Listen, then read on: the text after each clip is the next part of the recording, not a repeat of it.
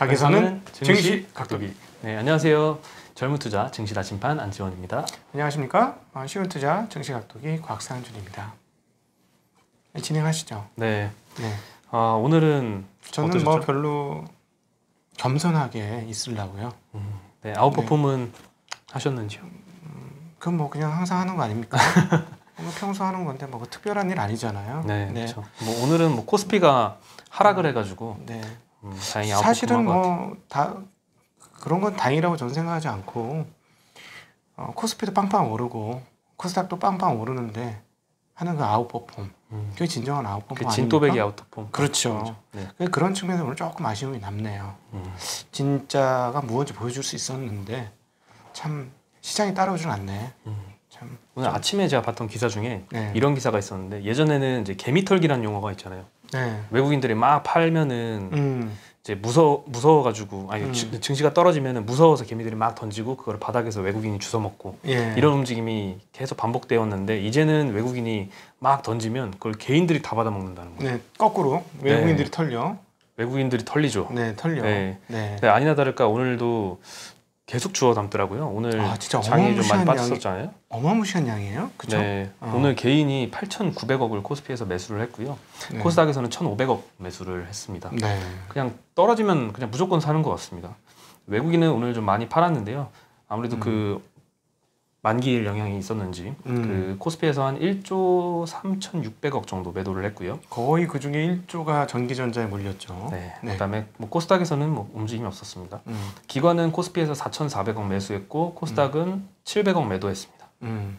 네. 환율도 오늘 뭐 큰 영향은 없었고 1,080원 후반대에서 네, 지금 계속- 1,090원까지는 올라갔고 네, 근데 오늘 제가 아침에 말씀 때 뭐라고 말씀드렸냐면 적 오늘 분명히 미국 시장 기술주들이 많이 빠졌고 네. 칩 주식들이 많이 빠졌으니 영향 받는다. 대신에 이게 강세장이라면 저점 대비 종가가 어떤지를 어떤지를 봐야 되고 보게 될 것이다. 강세장이 어떠한가를 여러분 보시게 될 것이다. 네. 라는 말씀을 드렸는데 역시 보여줬어요. 그렇죠? 네, 보여줬죠. 야, 이뭐 시장이 하나- 하나도 안 떨어진 느낌이 아침 시초가 비해서는 음, 그렇죠. 오른 느낌 정도? 음. 네. 오늘 시초, 어. 시초에는 뭐 삼성전자, 하이닉스 많이 빠지더라고요. 네. 많이 회복을 하고 끝났죠. 그러니까요. 이게 강세장의 전형적인 모습이 장준 저점 대비 계속 땡기려고 하는 이 에너지가 분출되는 그런 장인데 뭐 단기적으로는 많이 올랐으니까 조정은 언제든지 또 할 수는 있겠어요. 그죠? 그리- 네. 그리고 어제 말씀 제가 잠깐 깜빡했었는데 저희 회사에서 그렇게 말하는 거 맞더라고요. 그 백두산.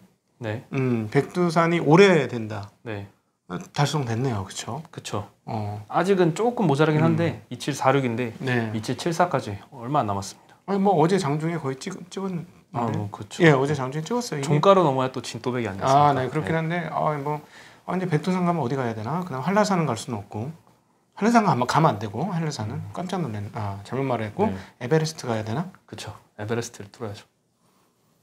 아, 욕심 젊은 사람 욕심 가다. 근데 그거는 아직 좀 먼 꿈이죠. 에베레스트 몇 미터인지 알아? 동네 뒷산 아니야, 에베레스트. 아, 진짜. 아, 우리 다우존스 그러려면 종목을 확 줄여야지 한 30 종목만. 음, 그럼 갈 수도 있죠, 그죠? 그렇죠. 음, 네, 하여튼 뭐 기대를 한번 해보겠습니다. 네, 오늘 뭐 IT 주들은 잠깐 쉬는 동안에 한국전력이 좀 많이 올랐는데요. 오늘 네, 6%나 올랐습니다. 중요한 뉴스 있었죠? 네. 일단 유진투자증권에서 연료비연동제 도입을 하면 음. 이제 주가가 저평가될 것이다 하면서 목표가를 상향했습니다. 14% 네. 상향했고요. 3만 2천 원을 제시를 했는데요. 네. 한전이 지금 추진, 추진하는 전기요금 개편안 중에 연료비 연동제가 시행될 가능성이 높아져서 음, 음, 된다면 17일에 발표될 음, 내년도 경제 정책 방향에 포함이 될 것으로 예상이 되고요. 음. 17일까지는 아무래도 기대감이 형성이 되어 있으니까 뭐 주가가 좋을 수도 있을 것 같습니다. 음, 어제는 제가 어떤 그 보고서에 대해서 너무 많이 썼다라고 했는데 이건 너무 적게 썼다. 음. 14% 상향? 아, 뭐 굳이 상향할 필요가 있었을까? 이 정도 할 거면? 음, 근데 이거 네. 굉장히 큰 뉴스입니다. 음, 한국 전력 구조는 이렇게 보시면 돼요. 대형주니까 제가 조금 편하게 말씀드릴게요. 제가 사실은 개별 종목 얘기는 잘 안 드리는데 어, 한국전력 같은 경우는 석탄 가격이 어떻게 되는지가 가장 중요합니다. 역시나 아직까지는 석탄 발전이 약 한 40%가 넘, 넘는 걸로 알고 있는데요. 그러다 보니까 석탄 뭐 1달러 떨어질 때마다 수익이 퍽퍽 올라가는 그런 구조고요. 네.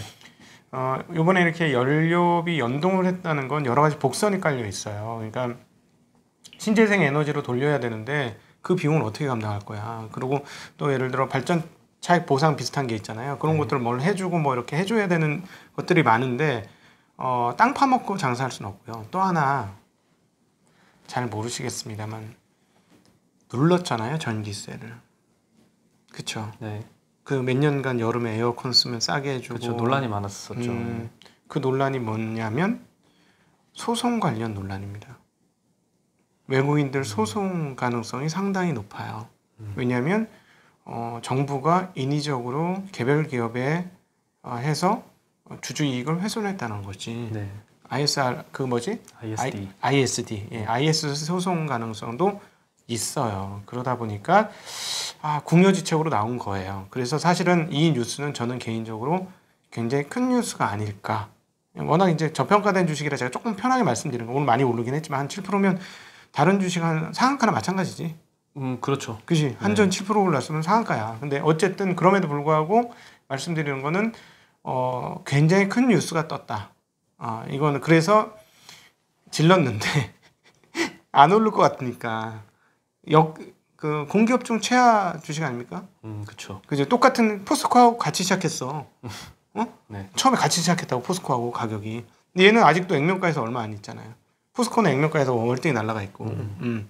액면가 5천 원에서. 음, 그러니까 아, 굉장히 싼 주식은 맞습니다. 그래서 제가 얘기했던 대형 종목 중에 저평가 주식 중에 하나가 이, 이 주식이기도 하죠. 제가 이제 은행 주식들, 그 다음에 뭐 증권도 그렇고, 그 다음에 얘기했던 건설. 건설은 저희가 완전히 소발로 쥐 잡았어요. 음 그렇죠. KODEX 그죠. 건설 사신 분들이 아마 많을 것 같은데. 예, 예, 우족 attack mouse. 완전 쥐 잡아서 아 이렇게까지 단박에 올라갈 줄 진짜 몰랐어. 음, 아, 어 나도. 깜짝 놀랐어. 그러니까 그러니까 이렇게 싼 주식 잡으면 가끔씩 운이 따라요. 델포이 신전의 선택을 받은 거지 음. 이번에. 그래서 이런 경우도 있는 거니까. 근데 어쨌든 싼 주식들은 어 그 잘 보시는 게 좋을 것 같습니다. 네, 뭐 건설주 얘기 나왔으니까 건설주 얘기부터 해보면요. 음.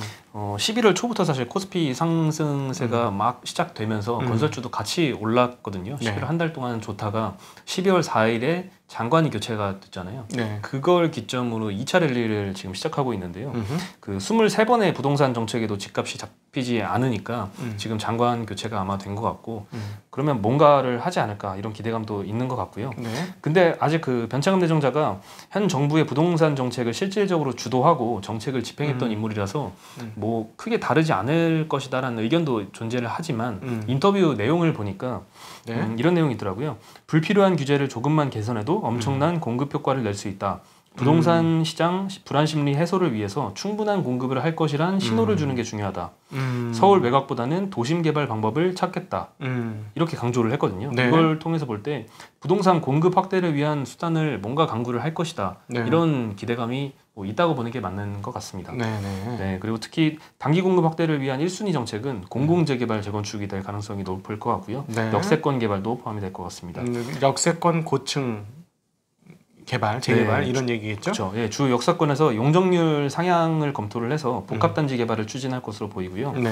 이렇게 되면은 건설주들 뭐 다 같이 수혜해 볼 수 있겠지만 그 중에서도 광급 공사 비중이 높은 건설사들이 조금 더 수혜를 볼 수도 있을 것 같고요. 네. 중소건설사와 뭐 건자재 업종까지 어, 이 수혜가 퍼질 것 같은데 아니나 다를까 오늘 시멘트 업종도 좀 많이 오르더라고요. 네. 네, 네. 쌍용양해가 6%, 뭐 한일 현대시멘트가 5% 음흠. 이렇게 시멘트 주들도 많이 올랐습니다. 네, 요거는 어, 실제로 얼만큼 될지 모르겠는데 지금은 약간 일단 기분인 것 같고 네. 기분으로 오르는 것 같고 근데 최근에 한국 시장 분위기 보면서 조금 이상한 거 못 느끼세요?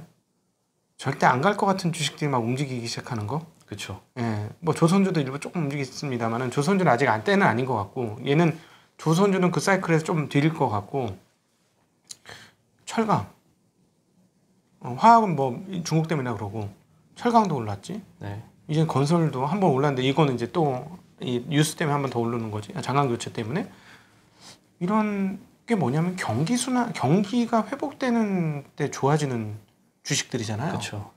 뭐 이건 뭐냐면 내년에 GDP 성장을 하고 경기가 상당히 좋아질 것이다. 라는 예상을 하고 있는 거죠.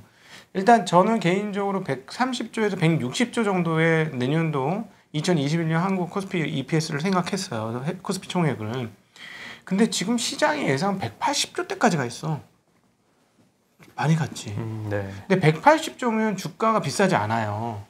지금 180조면은 어 14배, 14.4배까지도 줬으니까 통화 가치 하락을 감안해 보면 이번에는 14.4배가 아니고 한 15배까지도 한번 갈 수 있다. 이렇게 보면은 근데 나는 처음에는 180조는 안 될 거야 이런 생각이 있었거든. 네. 근데 어, 만약에 지금 시장에서 생각하는 것처럼 경기가 상승하는 쪽으로 간다면 꼭 불가능행위도 한 얘기도 아닐 수도 있겠다. 그리고 그러니까는 내년도 EPS 총합이 얼마가 나오냐에 따라서 어, 저가 생각했던 130에서 160조 정도 사이라면 자, 내년 오를 거 지금 땡긴 거야. 그거 맞아. 근데 진짜로 180조 그 이상 나오면 내년에 또 있어. 먹을 게. 네. 어, 그렇게 저는 개인적으로 마음속으로는 정리는 하고 있습니다.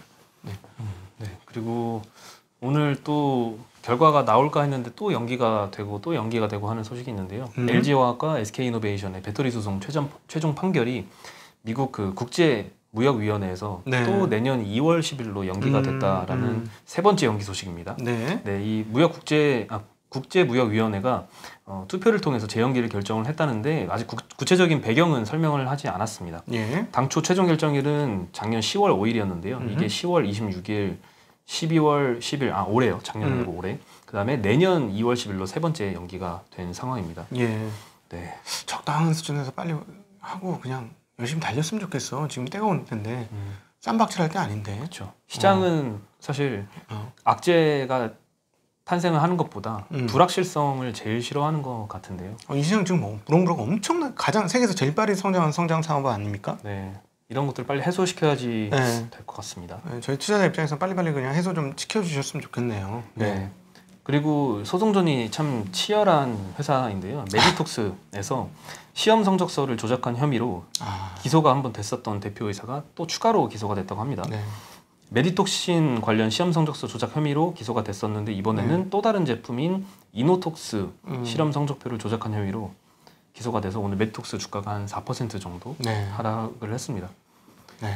네. 정말 저는 할 말이 없네요. 이 부분에 대해서 정말 개싸움인 거야? 지금 나는 그렇게밖에 안 보여. 응. 네. 그리고 오늘 에릭슨 이라는 네. 회사에서 기자간담회를 열었거든요. 음흠. 그래서 5G 시장에 대해서 전망을 좀 내놨는데 어, 전 세계 5G 가입자가 올해 말 기준으로 한 2억 2천만 명 정도로 예상이 되는데 그 중에 네. 80%가 중국 중국일 것이라고 전망을 했습니다. 음. 중국이 올해 말에는 한 1억 7,500만 건 정도의 5G 가입자가 이뤄질 것 같고요. 근데 이걸 보고 제가 생각이 든게 네. 이렇게 중국인들 중에 그 4G보다 5G 비중이 이렇게 압도적으로 높으면 지금 5G를 만들지 못하고 있는 업체가 있잖아요. 음. 화웨이. 음. 지금 5G 칩을 못 받아가지고 퀄컴으로부터 그렇지 않아요. 그렇지 않아요. 그렇지 그거는 않아요? 그건 네. 그거는 음, 디스플레이 아 저기 뭐야 핸드폰에는 맞는 얘기고요. 네, 그렇죠. 어, 개수가 왜냐면 이거는 이제 한 2억 5천만 대에서 3억대 만들었잖아요. 그러니까 네. 없어 이미 다 떨어졌어. 어, 네, 끝났어. 지금 분위기가 그런 상황인데 기기는 그렇게 많이 필요하지 않아요. 수십만 대. 수십만 대는 5G 그 통신 그 뭐죠? RF나 D, DU, RU 이런 쪽은 어, 그렇게 많이 핸드폰하고 개수가 비교가 안 됩니다. 쉽게 얘기하면 RU 하나에 라디오 유니트 하나에 이 핸드폰이 몇 개가 물리겠어?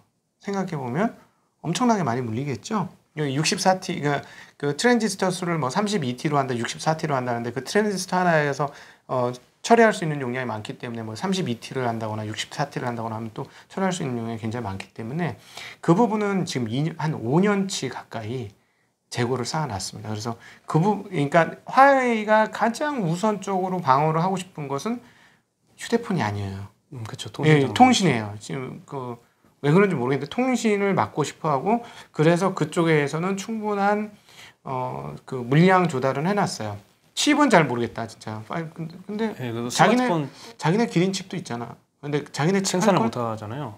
음, 근데 제가 들은 바로는 제가 본 바로는 재고 확보는 되어 있다고 합니다. 그쪽은. 음, 5G 쪽으로. 예, 그 통신 기기 radio unit나 digital unit나 이쪽은 음, 괜찮을 것 같다라고 보여지고 핸드폰은 심각한 문제고요. 음, 네, 그렇군요. 네.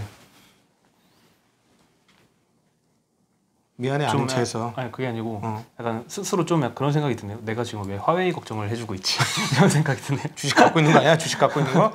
어? 보이편이야? 제 걱정부터 좀 하겠습니다. 예. 화웨이는 뭐 걱정 안 해도 될 것 같고요. 예. 네, 어.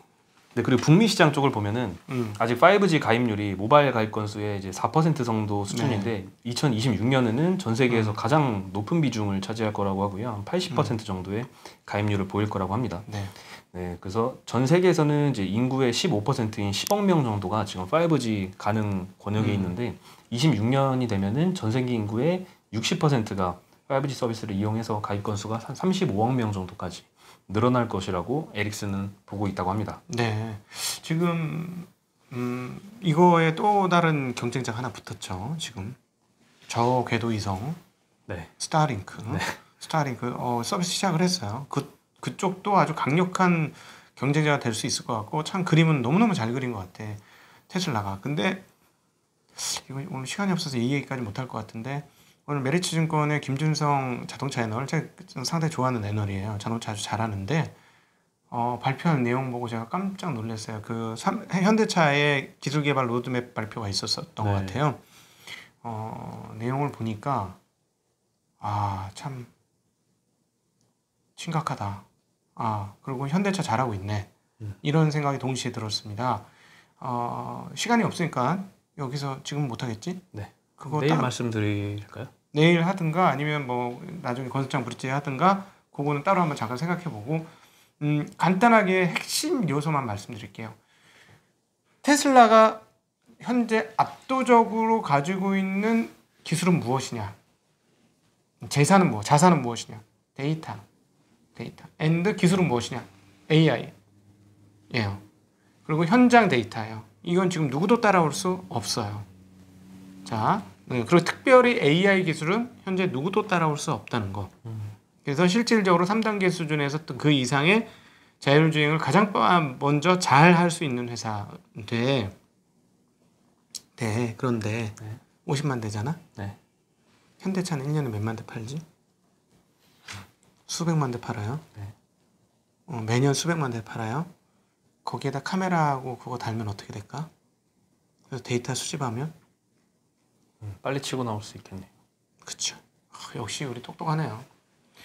네, 똑똑해. 그게 핵심이야. 아, 그 숨기고 안 얘기해 주려고 그랬는데, 아, 드러나 버렸네. OTA를 한다고 했는데, OTA만 할까요? 아, 나 그거 보고, 아, 현대차 방향성은 잘 잡았네. 이런 생각이 들었고, 자, 1년의 대수 곱하기 OTA를 하면서 and 그걸로 뭔가를 하면 어떻게 될 것이냐. 이게 핵심입니다. 한번 음. 생각해 보십시오. 네, 한번 시간을 따로 편성을 해서 네. 듣고 싶습니다. 네. 네, 그다음에 오늘 두산 인프라코어가 지분 한 36% 정도를 지금 매각을 진행을 하고 있는데요. 네. 우선 협상 대상자로 현대중공업 컨소시엄을 선정을 했습니다. 음, 현대중공업 컨소시엄이 보통 한 7천억에서 1조 정도 사이로 써낼 것이다라고 예상했는데 예. 최근에 분위기가 좀 7천억 쪽으로 기울고 있었거든요. 음, 음, 음. 근데 결과를 까보니까 한 9천억에 가까운 수치를 써냈다고 하고요. 네. 네, 그래서 오늘 주가는 한 6%좀 넘게 올랐고요. 네. 어, 두산그룹과 이제 현대중공업 컨소시엄이 추가 협상을 또 진행을 해야 됩니다. 또 음. 두산 인프라코어 중국 법인의 우발 채무 문제도 있기 때문에 음. 추가 협상을 진행을 하고 올해 말까지 본계약을 체결을 해서 막 거래를 마무리할 예정이라고 하고요. 예. 어, 매각 전에는 이 두산 인프라코어와 현대건설기계 세계 시장 점유율이 각각 3.3%, 1.2%로 9위와 22위였거든요. 네. 합병 후에는 4.5%가 되고 음. 6위가 될, 아 7위가 정도가 될 예정입니다. 음흠. 물론 이제 공정위의 기업 결합 승, 승인 절차가 남아 있고요. 이걸 네. 통과를 해야겠죠. 음흠. 다만 국내는 이제 엄청난 독점 기업이 탄생이 끝- 됩니다. 게임 끝난 거지 뭐. 어. 두산 40%, 현대 20%에서 음. 60%를 차지를 하게 되고요. 네. 네. 근데 이제 상당히 예전에 두산 엔진 케이스를 제가 보니까 네. 굉장히 비슷하더라고요. 음흠. 두산 엔진도 뭐 자회사 두산 밥캣 지분을 이제 따로 인적 분할을 해가지고 뭐 그 아래 다른 지분들은 이제 모회사로 넘기고 음흠. 사업회사만 떼어내가지고 매각을 했거든요 사업부만. 예. 네. 이것도 마찬가지로 두산 인프라코어도 뭐 인적 분할을 할 예정이라고 하고 네. 떼어내서 팔 건데 두산 엔진 케이스를 보니까 제가 이 케이스를 보면서 좀 신기했던 게 음.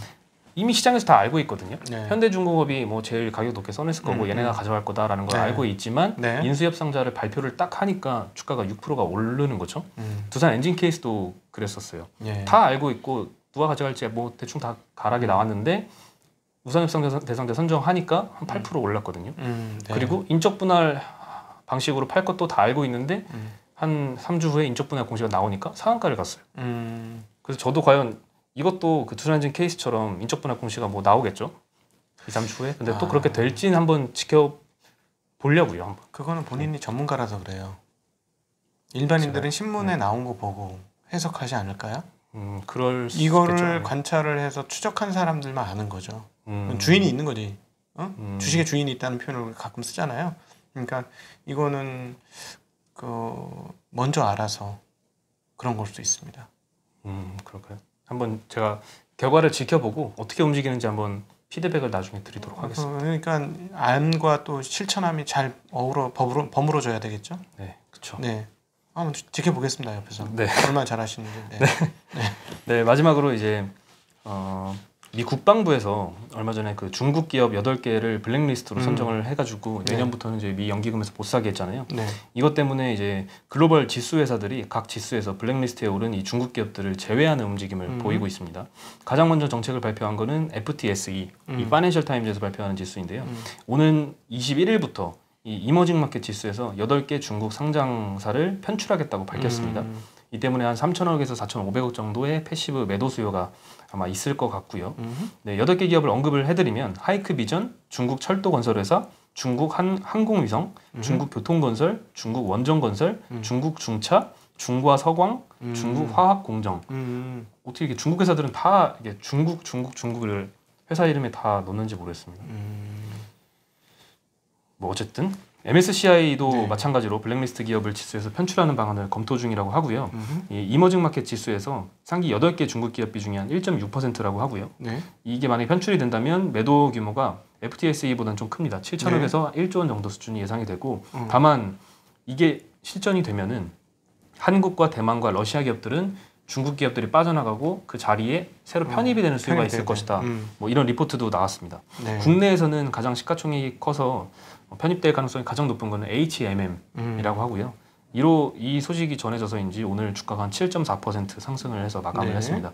HMM이 만약 편입이, 편입이 된다면 네. 1,600억에서 한 2,500억 정도의 passive 수요가 있을 것으로 음. 보이고요. 오늘 장 끝나고 나온 소식인데요. S&P Dow Jones Indices라는 이제 여기도 지수를 어, 발표를 하는데 여기서도 중국 21개 기업을 지수에서 제외하기로 결정을 했고 음. 여기에는 SMIC, 하이크 비전 등도 포함이 되어 있습니다. 자 이걸 어떻게 볼까? 예, 우리는 이제 투자 안목을 좀 전해드려야 되잖아요. 네. 이런 뉴스만 전해드리지 말고 한 단계 더 나아간 투자 방송, 남들이 못하는 투자 방송. 자 어떻게 이 주식들 최근에 많이 빠진 것 같은데 몇 개 알고 있는 거 보- 내가 계정 몇 개 알고 있는 거 중국 기업들이 지금 여기서 언급된 몇 개 기업은 엄청 주가 빠져 있는데 많이 빠져 눌려 있는 기업도 있죠. 그렇죠? 네. 자 그러면 이걸 어떻게 봐야 돼? 악재야? 악재 해소야. 악재 해소죠.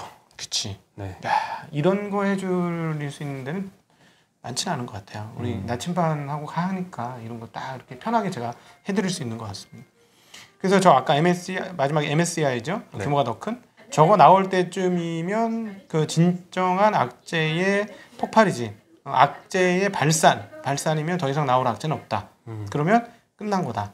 그쵸. 라고도 볼 수 있어요. 중국 투자하시는 분들은 그렇게 한번 참고해서. 근데 보통 이런 뉴스 하면 가슴 떨려서 팔고 싶거든. 그거 아니거든. 음. 이미 주가가 빠졌으면 다시 한번 생각해 봐야 돼요. 근데 여기에 언급될 기업이면 후진 기업일까? 아니죠. 아니지. 네. 아니지.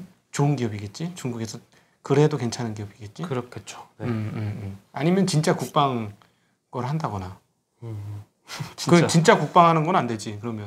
어, 그러면 좀 그런데 어쨌든 괜찮은 기업이니까 음. 뭔가 잡았겠죠. 네, 그래서 그렇게 역발상하는 거 항상 이렇게 뭔가 뉴스가 나왔을 때 뉴스 자체보다도 뉴스를 어떤 방향에서 읽어내야 되는지를 한번 고민하시는 게 투자자분들한테 꼭 필요한 것 같습니다. 음, 네. 특히 이게 중국 내수로만 먹고 사는 기업이라면 음. 특히나 이런 매도 수요로 단기에 빠지면 그게 좀 기회가 될 수 있겠네요. 아 그럼 내수만이면 그냥 사야지. 네. 어, 분할 매수 시작해야 되는 걸 수도 있죠. 음, 아직은 이제 편출이 확정이 되기 전이니까 불확실성의 단계인데 음. 그렇지. 편출이 확정되면은 이제 악재가 해서 나와버린 거니까. 어, 이거 이거 물량 나오면 이제 더 이상 나올 물량이 당분간은 없을 거 아니야. 음, 네. 그냥 같이 같이 팔 거 아니야. 막 이러면서 네. 매도의 러쉬 이런 게.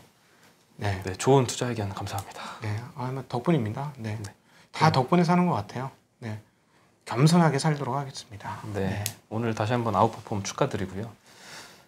아니 뭐 그냥 아 너무 축하하지 마세요. 네. 뭐, 내일은 더 크게 아웃퍼폼 하셔야죠. 아, 뭐 특별한 일도 아니잖아. 알잖아. 뭐 특별한 일 아닌 거. 어, 네. 네, 그러면 저희는 오늘 여기서 인사드리겠습니다. 안녕.